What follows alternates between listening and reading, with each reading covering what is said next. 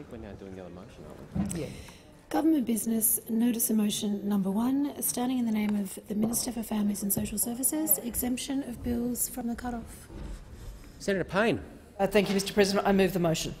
Question is Senator Gallagher.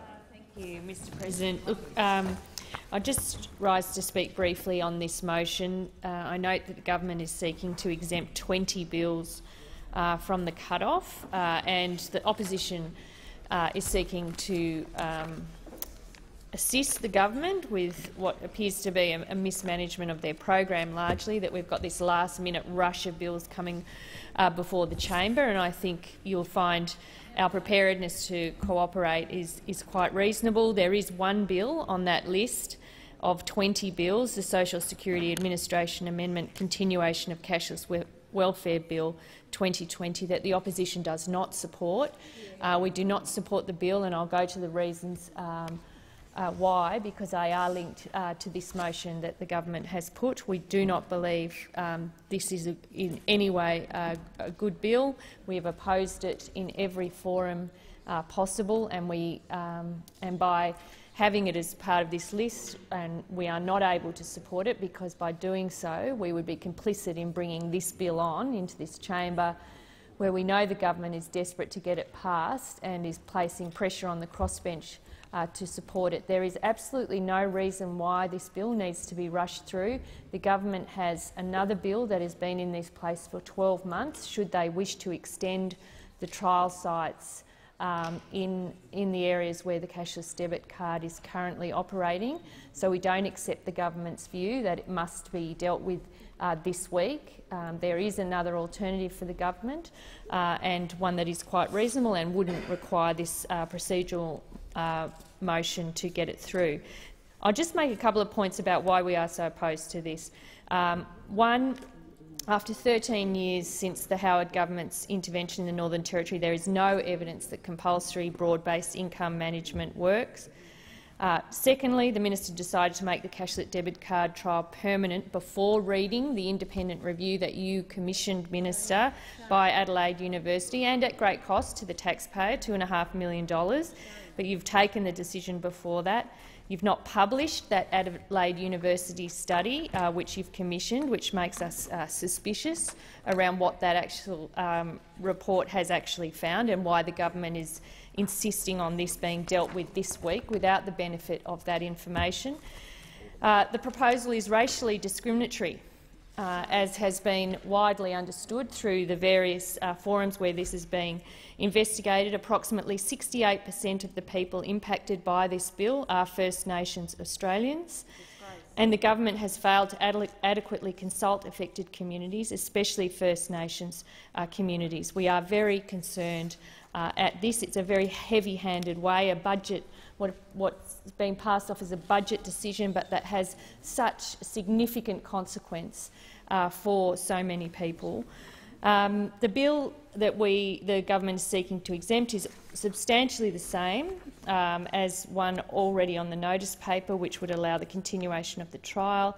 Um, this uh, second reading on this was adjourned on the 2nd of December 2019. So given that that bill has effectively sat on the notice paper for 12 months without being debated by the government, we see absolutely no reason why this bill needs to be rushed through the Senate this week and accepted from the usual procedural processes that would allow senators to properly review and scrutinise the legislation before it's uh, potentially passed into law.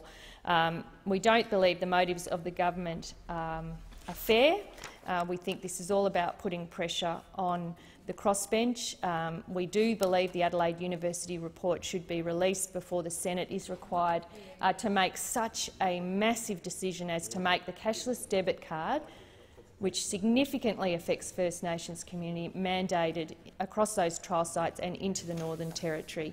I'll leave my comments there because I know many of my other colleagues, should we not be successful with this motion, will speak uh, should should we be in the position uh, where um, this bill actually gets through. But I would urge those on the crossbench to consider supporting, um, well, asking, uh, supporting us when we ask that the question be separated um, and that we vote differently on that bill to the other 19 that we are prepared to exempt from the cut-off. um, because there's many, many uh, thousands of people around this country that rely on the Senate to do the right thing on this. And the right thing is not to allow this to be swept through in the last-minute rush before Christmas, uh, because this government's taken a budget decision um, rather than allowing the proper processes and the full evaluation of the trial sites to be provided to this chamber to consider before we're asked to cast our vote on it. Senator Siewert. The Greens were uh, also asking that the Social Security Administration amendment, continuation of the Cashless Welfare Bill 2020, be uh, voted on separately because we certainly will not be supporting this being rushed through this place.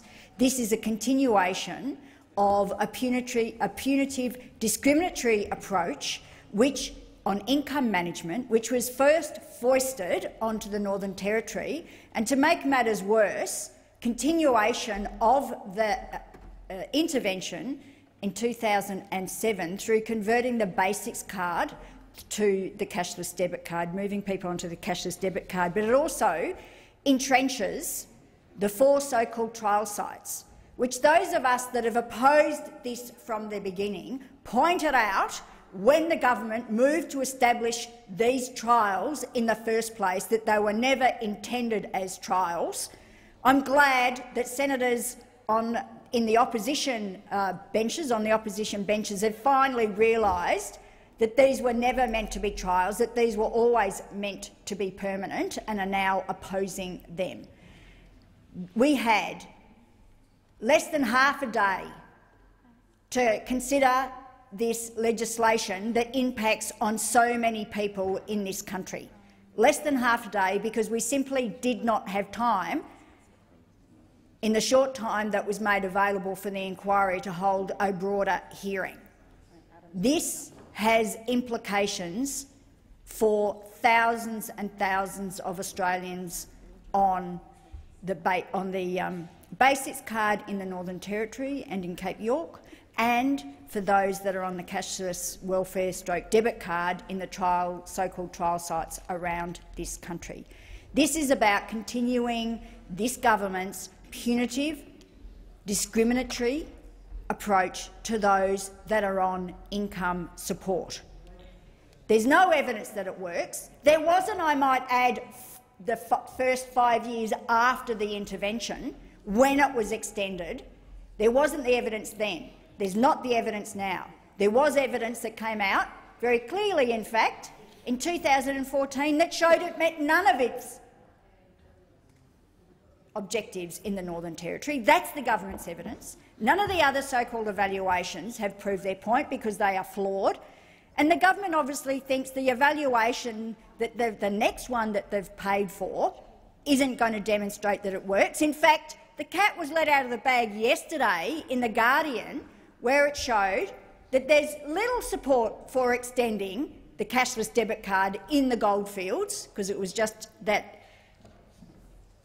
slip snippet that we saw yesterday in The Guardian was about the goldfields trial, so that there isn't the support to continue the card as it operates now. So it's very clear why the government isn't releasing the, the evaluation, because this isn't based on evidence, on what works. It's based on ideology, pure and simple Ideolo ideology which seeks to control people's the way they spend their money, which, team, which seeks to, because they think they have the right, to control people's income support. Well, controlling the way that people use their money does not achieve the objectives because there's workarounds, there's all sorts of things. It has not reduced and it has not dealt with the underlying causes of drug and alcohol addiction which the government claims that they are addressing. This is a flawed approach. The government doesn't have the evidence that it works. It wants to rush it through and make this and make the card permanent.